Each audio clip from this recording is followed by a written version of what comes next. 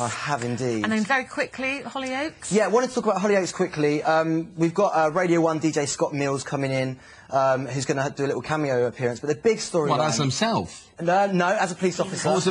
yeah, he likes he likes a uniform. Um, but the big storyline is schizophrenia this summer, which is obviously a very important storyline to touch upon. And everyone thinks it's old people that get schizophrenia, but actually um, young people get it. And uh, 10 in every senior school get diagnosed with some kind of psychosis. That's a very very uh, important storyline for Hollyoaks to touch upon, and that's obviously Newt that's mm. diagnosed with schizophrenia. Cheers, Chris. Good Thank you very much indeed. That's all a bubble.